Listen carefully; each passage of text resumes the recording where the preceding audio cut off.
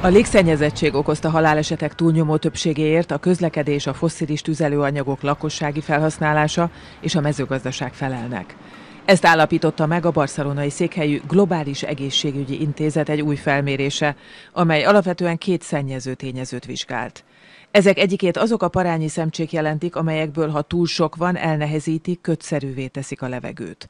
A kutatás 857 európai városban mért adatok alapján azt állítja, hogy a légszennyezettséggel összefüggő halálesetekért ezzel a típusú szennyezéssel legnagyobb arányban a mindennapi civil szennyezés okolható. Mindenféle légszennyezést együttvéve a lakossági szennyezés felel az ilyen típusú halálesetek majdnem feléért. A mezőgazdaság, az ipar, a közlekedés és az energiaszektor aránylag kis különbséggel következnek egymás után a rangsorban.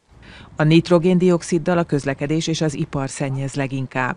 A turisztikai és kereskedelmi csomópontokban a légi és a hajóforgalom is rontja a légszennyezettségi statisztikát, de korán sem olyan mértékben, mint a közúti közlekedés.